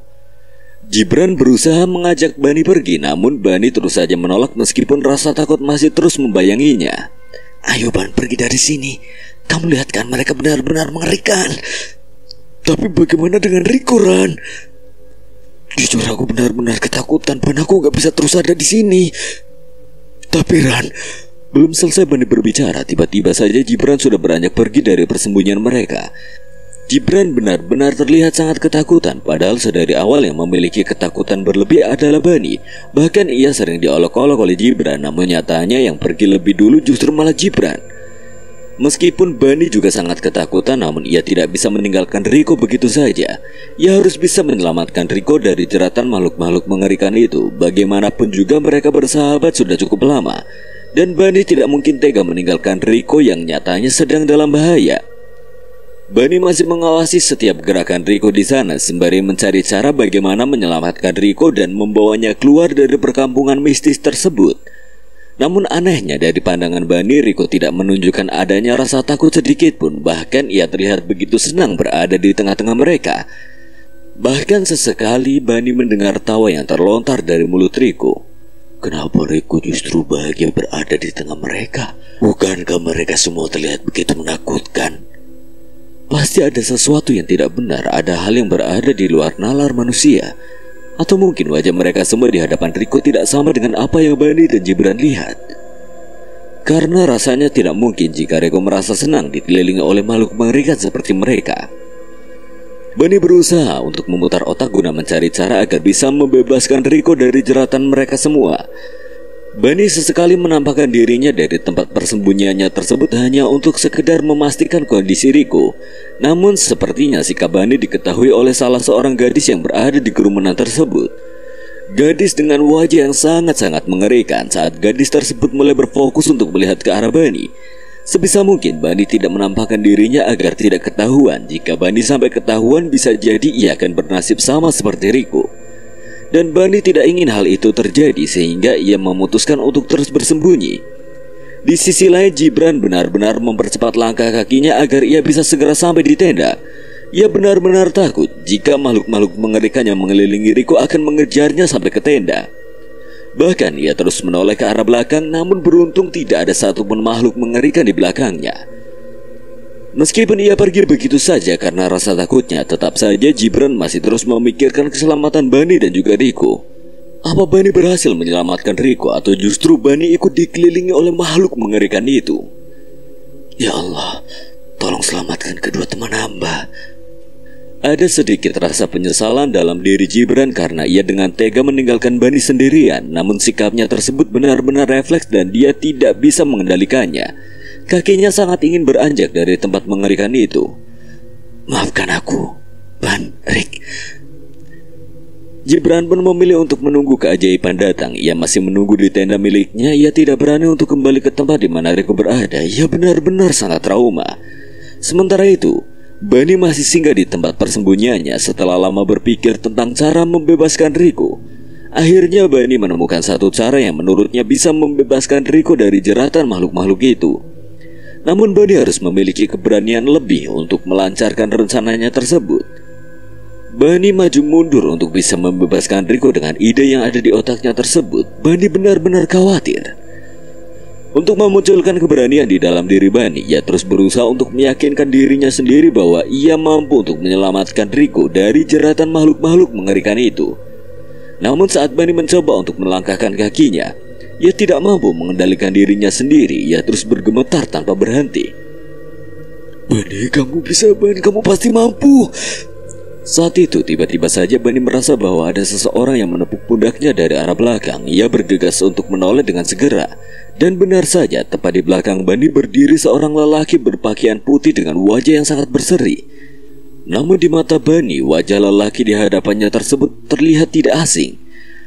Bani lantas berusaha mengingat-ingat kembali wajah lelaki tersebut. Siapa tahu memang sebelumnya ia pernah melihat lelaki itu. Lelaki itu tersenyum kepada Bani. Ia kemudian memegang kedua pundak Bani dengan lembut seraya meyakinkan Bani agar Bani tidak lagi merasa ketakutan. Bani baru ingat bahwa sosok lelaki di hadapannya saat ini sangat mirip dengan pendaki yang dianggap gila oleh Riko saat mereka sedang berjalan menuju pos 3. Bani mencoba untuk memastikannya sekali lagi agar ia tidak salah ingat. Bukankah kamu pemuda di pos sebelumnya? Mengapa kamu sangat berbeda dengan sebelumnya? Selamatkan temanmu sebelum semuanya terlambat. Tapi aku tidak cukup berani. Kamu pasti sanggup. Jika kamu tidak segera menyelamatkannya, ia tidak akan selamat. Bani pun merenung seketika karena memang ia tidak cukup berani untuk langsung menghampiri kerumunan makhluk menyeramkan itu terlebih lagi untuk membawa Riko keluar dari jeratan mereka semua. Namun saat Bani melihat Riko seperti akan masuk semakin dalam ke pemukiman tersebut, sontak Bani pun langsung berlari sembari terus membaca ayat Al-Quran semampunya. Pandangannya harus fokus pada Riko dan ia benar-benar tidak mempedulikan sosok-sosok menyeramkan di samping Riko. Bani berlari meninggalkan lelaki yang sebelumnya sedang berbincang dengan dirinya. Pikirannya saat ini hanya ada satu, yaitu ia harus berhasil menarik Riko keluar dari kerumunan makhluk-makhluk menyeramkan di pemukiman gaib tersebut. Melihat kedatangan Bani, semua makhluk mengerikan itu lantas langsung memalingkan pandangannya dari arah Riko dan kini berfokus kepada Bani. Mereka semua mencoba untuk menggagalkan rencana Bani membawa Riko dari tempat tersebut. Di sana Bani benar-benar mencium aroma yang tidak sedap yang berasal dari tubuh makhluk-makhluk itu, bau anjir dan bau busuk yang hampir saja membuat Bani muntah. Bani berusaha menahan semua aroma busuk yang diciumnya. Mulutnya tidak henti-hentinya mengucap istighfar dan segala doa yang diingatnya ketika itu. Sangat sulit untuk menggapai tangan Riko karena Riko masih dikelilingi oleh makhluk-makhluk yang sangat menyeramkan itu. Hingga akhirnya, Bani berhasil menggapai tangan Riko. Ia bergegas menariknya keluar dari kerumunan. Bani sama sekali tidak melirik ke arah makhluk-makhluk di sana karena ia khawatir ia tidak akan sanggup beranjak jika ia melihat wajah mereka yang benar-benar mengerikan. Ayo kita harus pergi dari sini. Ini bukan tempatmu. Riko masih belum begitu sadar dengan apa yang dilakukan oleh Bani Namun setelah tubuhnya keluar dari jeratan makhluk-makhluk itu Riko baru sadar Jika Bani saat ini sedang bersamanya namun pandangan Riko masih fokus pada para gadis yang saat itu mengerumuninya. Ia tidak melihat bahwa sosok mereka adalah sosok yang mengerikan. Karena di pandangan Riko mereka semua sama seperti manusia pada umumnya. Bahkan mereka sangatlah cantik dan begitu menyenangkan. Riko baru menoleh ke arah Bani ketika mereka sudah melangkah cukup jauh dari kerumunan itu. Bani benar-benar lega karena ia berhasil menarik Riko keluar dari jeratan makhluk-makhluk menyeramkan itu. Bani tidak bisa bayangkan jika ia tidak berani melawan rasa takutnya pasti ia akan melihat Riko tak selama di tempat yang ia sendiri pun tidak tahu. Bahkan tidak pernah ada di dalam pikirannya. Namun bukannya Riko berterima kasih karena Bani telah menyelamatkannya Ia justru marah atas sikap Bani yang menurutnya sangatlah buruk. Karena di dalam pikirannya Bani telah memisahkan dia dari kerumunan perempuan-perempuan cantik dan manis yang ditemuinya. Di pikiran Riko Bani telah mengacaukan kesenangannya tersebut Apaan sih Ban? Kok malah kamu tarik aku keluar dari mereka? Kamu gak suka kalau aku dikelilingi banyak wanita cantik? Rick sadar, mereka bukan wanita cantik seperti apa yang kamu lihat. Justru mereka adalah makhluk-makhluk yang sangat mengerikan. Wajah mereka penuh dengan darah. Bahkan ada perempuan dengan punggung bolong penuh belatung yang saat itu sedang mengelilingimu. Sadar, Rick, sadar. Alah, bilang aja kamu gak suka kan? Kalau aku bersenang-senang di sana. Rick, buka pikiranmu lebar-lebar. Sekarang gini ya, mana ada pemukiman di atas ketinggian? Mana ada banyak perempuan di atas gunung selamat? Sadar Rick, mereka bukan manusia. Mereka tidak sama dengan kita. Aku tidak percaya. Karena di mataku mereka semua adalah gadis-gadis cantik dengan senyuman manis yang berhasil membuatku benar-benar terlena. Dan tidak seharusnya kamu mengacaukan kesenanganku begitu saja. Harus berapa kali lagi aku bilang kalau mereka bukan manusia, Riko? Keduanya saling berdebat satu sama lain Bahkan Bani hampir tidak habis pikir karena bukannya kata terima kasih yang keluar dari mulut Riko Justru malah sebaliknya Ada sedikit rasa penyesalan karena sikap Riko benar-benar di luar dugaan Padahal Bani sudah sekuat tenaga melawan rasa takutnya seorang diri setelah Gibran memilih pergi begitu saja namun nyatanya Riko malah bersikap acuh tak acuh kepada Bani dan malah terus memarahi Bani tanpa henti. Melawan rasa takut tidaklah mudah. Bani bukan hanya melawan rasa takutnya sendiri, melainkan ia juga mengorbankan dirinya sendiri. Jika ia tidak berhasil menarik tangan Riko kala itu, tentu ia pun akan tertangkap di dalam jeratan makhluk mengerikan itu, bukan? Bani hanya bertindak layaknya seorang teman yang baik, namun nyatanya semua terjadi di luar pemikiran Bani sebelumnya. Bani pun naik pitam setelahnya. Eh Riko, kalau tadi aku nggak narik tangan kamu keluar dari jeratan makhluk mengerikan itu, aku sudah bisa pastikan kamu akan pulang hanya tinggal nama. Bukannya bersyukur ditolongin malah marah-marah gak jelas. Eh, gak ada yang minta kamu buat datang kasih pertolongan ya Ban. Aku gak ada tuh teriak-teriak minta tolong. Justru aku sedang bersenang-senang di sana, tapi kamu malah mengacaukan semuanya. Apa yang aku ucapkan semuanya benar dan sesuai kenyataan, sedangkan apa yang kamu lihat semuanya hanyalah fata morgana. Sadar itu, Riko. Karena marah terus disudutkan oleh Riko, akhirnya Bani meminta Riko untuk kembali menoleh ke arah belakang agar ia bisa melihat sosok-sosok menyeramkan. Yang sebelumnya ia anggap mereka hanyalah manusia dengan kecantikan yang luar biasa. Dengan perasaan kesal akhirnya Riko menuruti ucapan Bani. Ia kemudian kembali menatap ke arah kerumunan orang-orang yang dianggapnya baik-baik saja. Betapa kagetnya Riko ketika melihat mereka semua sudah berubah menjadi makhluk yang sangat amat menyeramkan. Benar-benar berbeda dari mereka yang dilihat oleh Riko sebelumnya Mata Riko terbelalak seketika Gadis-gadis cantik yang dilihat sebelumnya kini sudah berubah menjadi sosok-sosok yang sangat menyeramkan mereka semua benar-benar berlumuran darah, bahkan ada juga sosok yang kepalanya hanya tengkorak saja. Mereka semua benar-benar makhluk yang mengerikan. Sontak Riko pun benar-benar syok dengan pemandangan yang dilihat olehnya. Ia tidak pernah berpikir jika sosok-sosok yang membawanya masuk ke dalam pemukiman gaib tersebut adalah sosok yang sangat menyeramkan. Ia benar-benar tidak pernah merasa aneh sebelumnya. Astagfirullahaladzim, Riko merinding seketika ia benar-benar tidak habis pikir jika semua hal yang diucapkan oleh Bani benar adanya. Ia benar-benar merasa sangat bersalah kepada Bani karena sudah marah dan membentaknya secara berulang-ulang. Namun nyatanya, semua hal yang diucapkan oleh Bani adalah benar adanya. Tubuh Riko merinding semua dari mulai tangan hingga kakinya. Keringat tiba-tiba mengucur begitu deras tanpa henti. Mata Riko benar-benar berkaca-kaca rasa takut dalam diri Riko kini tidak mampu dielakkan lagi. Meski merasa sangat bersalah kepada Bani, rasa takut Riko tidak mampu lagi dibendung olehnya. Ia kemudian berlari sekencang mungkin dan meninggalkan Bani seorang diri. Ia benar-benar tidak mampu mengendalikan dirinya sendiri. Riko berlari sangat kencang menjauhi tempat mengerikan yang baru saja ia masuki. Bani pun berusaha menahan Riko namun nyatanya ia tidak berhasil karena laju lari Riko benar-benar kencang. Hingga akhirnya Bani tidak lagi melihat ke mana arah lari Riko. Lagi dan lagi, kini Bani hanya tinggal seorang diri. Awalnya Bani ditinggalkan oleh Jibran karena Jibran sangat ketakutan karena melihat makhluk mengerikan yang mengelilingi Riko. Dan sekarang ia kembali ditinggal oleh Riko karena Riko sangat syok setelah melihat wajah asli orang-orang yang sebelumnya mengelilinginya. Melihat jalur yang dipilih oleh Riko, Bani mulai khawatir sebab arah yang Riko tuju adalah arah yang berlawanan dengan tenda mereka bertiga. Bani sudah berusaha untuk menariaki Riko agar ia bisa berhenti dan berbalik arah Namun sepertinya Riko tidak mendengar teriakan Bani yang sudah begitu kencang. Aduh gimana nih? Riko pilih jalur yang keliru. Bani kembali menariaki Riko sekencang mungkin berharap teriakannya didengar oleh Riko Bani berusaha untuk menyusul Riko dengan berlari Namun nyatanya kemampuan lari Riko dan Bani sangatlah berbeda Sehingga Bani pun benar-benar kehilangan jejak Riko kala itu Bani benar-benar bingung dan sangat khawatir dengan keselamatan Riko. Bani benar-benar khawatir jika Riko akan tersesat atau bahkan jatuh ke dalam jurang karena salah memilih jalur. Bani sudah coba untuk mengikutinya namun ia tidak mampu mengimbangi laju Riko. Ia benar-benar bingung dengan apa yang harus dilakukannya. Di satu sisi ia sangat ingin menolong Riko namun di sisi lainnya ia sudah kehilangan jejak begitu jauh. Dan jika ia memaksakan diri untuk masuk, ia khawatir justru ia yang akan tersesat. Sebab ia tidak tahu ujung jalur yang dipilih oleh Riko tersebut. Bani akhirnya pasrah dengan keadaan.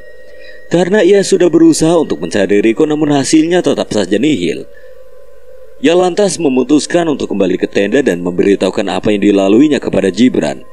Sembari membicarakan perihal Riko yang sudah telah salah memilih jalur, setibanya Bani di tenda, Jibran yang saat itu sedang meringkuk cemas di depan tenda langsung menghampiri Bani dan menanyakan keberadaan Riko kepadanya. Gimana Ban?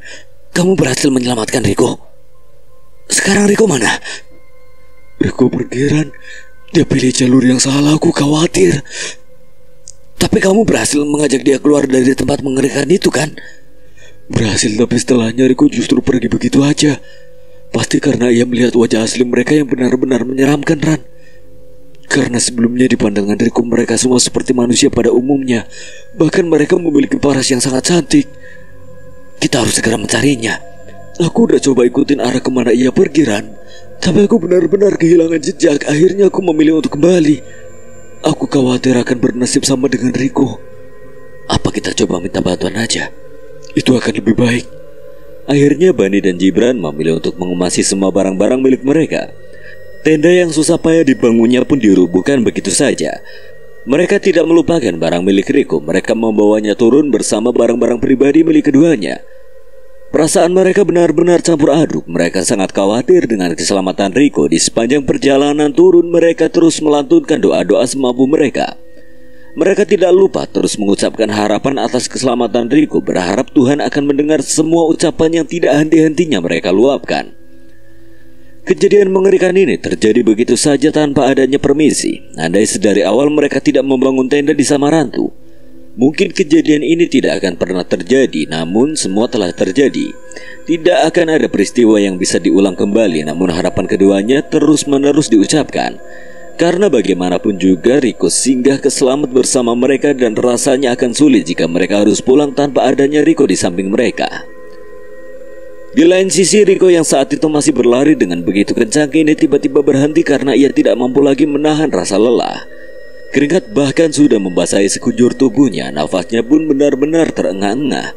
Wajahnya mulai memerah bak buah naga yang baru saja dipanen. Riko berhenti tepat di bawah pohon akasia besar yang terlihat sangat angker. Ia kemudian menghela nafas begitu panjang dan langsung melihat sekeliling tempat di mana ia berhenti.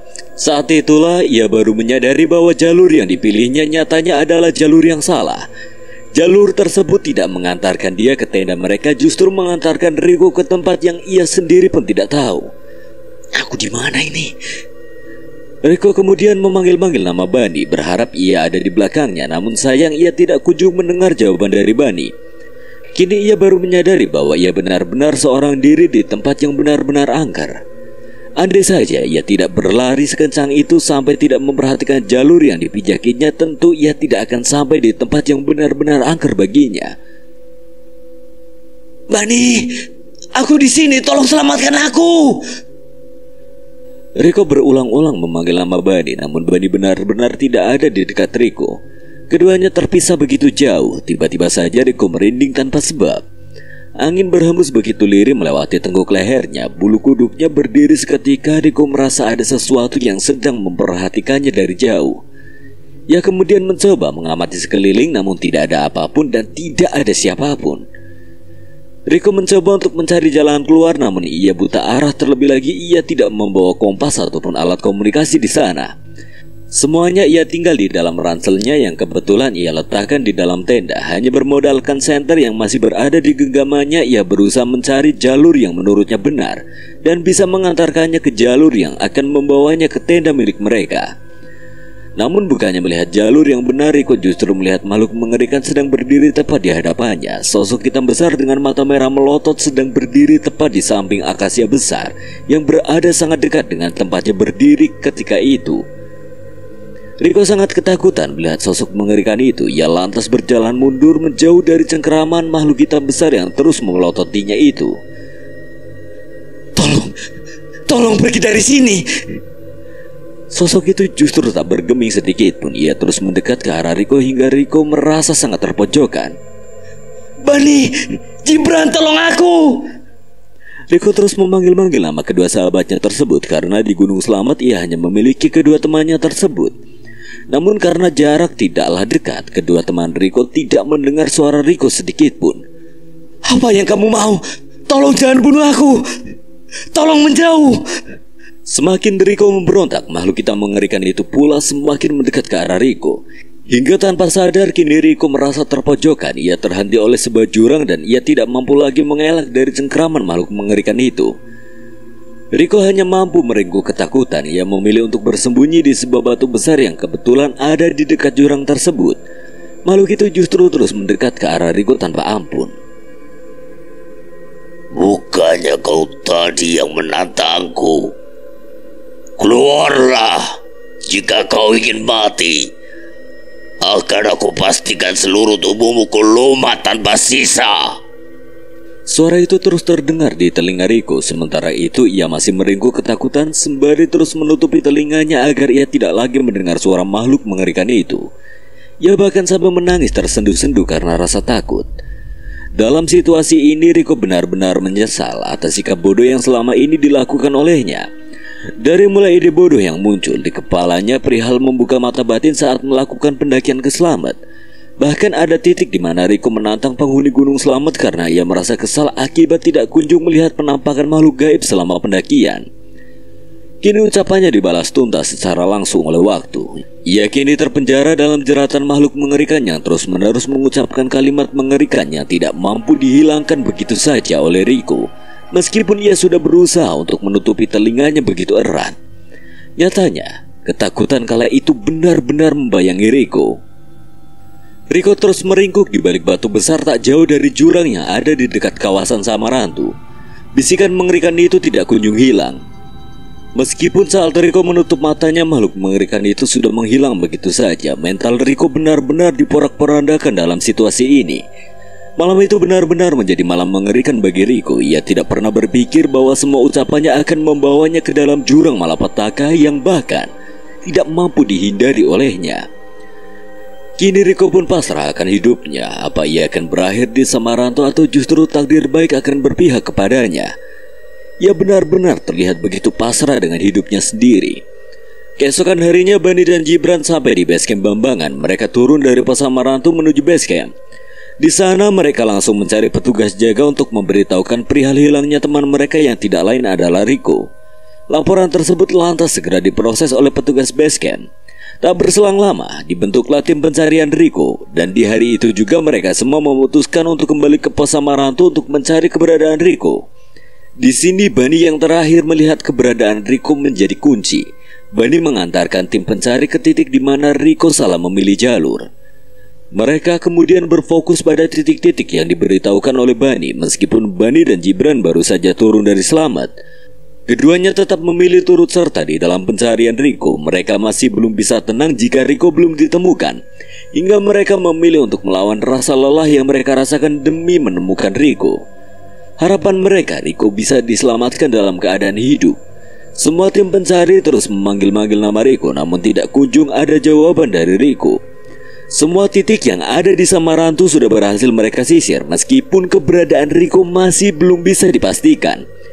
Hingga akhirnya saat Bani dan tim mencoba untuk menyisir titik di mana Riko menghilang dan mulai mengikuti jejak kaki yang terlihat begitu samar. Akhirnya mereka menemukan titik terang di mana mereka berhasil melihat sapu tangan milik Riko yang tergeletak di atas tanah. Mereka semakin semangat dan mulai mempercepat langkah karena mereka yakin Riko berada tak jauh dari sapu tangan miliknya. Benar saja, Riko berhasil ditemukan. Ia terlihat meringkuk di balik batu besar dalam kondisi tidak sadarkan diri. Tim pencari pun mencoba memastikan denyut nadi Riko dan Riko dinyatakan masih hidup. Bani dan Gibran bergegas menghampiri Riko. Keduanya langsung mendekap Riko dengan begitu erat. Kita harus segera bawa dia ke bawah untuk dilakukan tindakan. Meskipun denyut nadi Riko masih ketara, namun iramanya begitu lirih jika tidak segera dilakukan tindakan. Khawatir Riko tidak akan bisa diselamatkan. Pada akhirnya Riko sesegera mungkin dibawa ke rumah sakit untuk dilakukan tindakan pertolongan pertama. Beruntung Riko masih bisa diselamatkan meskipun semula nadinya sangatlah lemah setelah menunggu beberapa saat Bani dan Jibran yang kala itu menunggu di depan ruangan. Tiba-tiba dipanggil oleh dokter yang menemani Riko untuk menyampaikan hal yang tidak mengenakan. Dokter mengatakan bahwa Riko berhasil melewati masa kritisnya namun akan ada hal berbeda yang akan ditunjukkan oleh Riko. Benar saja setelah Riko sadarkan diri, ia bertingkah tidak seperti biasanya. Riko terus saja mengalami ketakutan hebat, bahkan ketika Bani dan Jibran mendekat ke arahnya pun Riko enggan. Riko justru mengusir keduanya setiap kali melihat orang, Riko akan meringkuk ketakutan sembari mengusir semua orang yang datang menghampirinya. Setelah kejadian tersebut, hidup Riko berubah 180 derajat. Kini hampir setiap malam Riko mengalami ketakutan hebat. Ia bertingkah seperti orang yang tidak waras alias gila. Padahal sebelumnya Riko tidak pernah bertindak seperti sekarang ini. Bukan hanya itu saja, setelah keluar dari rumah sakit dan kembali ke rumah orang tuanya, Riko lebih sering melamun dibandingkan ngobrol ataupun berbincang dengan orang rumah. Dan hampir di tiap malam Riko bersikap seperti orang kerasukan Bahkan ia terus mengigau dengan mengusir siapa pun orang yang datang menghampirinya Bani dan Jibran yang melihat kondisi Riko seperti itu merasa sangat terpukul Bagaimana tidak? Sebelum mereka berangkat ke selamat semuanya baik-baik saja Namun ketika pulang mengapa semuanya berubah? Kini Riko berubah menjadi orang yang tidak lagi mampu mereka kenali. Riko terus melamun dan sesekali mengamuk. Sering mengigau dan sesekali menangis seorang diri. Riko kehilangan akalnya karena petaka menantang penghuni selamat. Sebaik-baiknya manusia adalah ia yang sanggup dan mampu untuk menjaga lisannya. Sekian dan terima kasih buat Alin Ambarwati yang telah mengizinkan saya membawakan ceritanya. Apabila ada kesalahan atau kekurangan, Kang Selamat memohon maaf sebesar-besarnya. Akhir kata Kang Selamat pamit undur diri. Assalamualaikum warahmatullahi wabarakatuh. Sampai berjumpa lagi.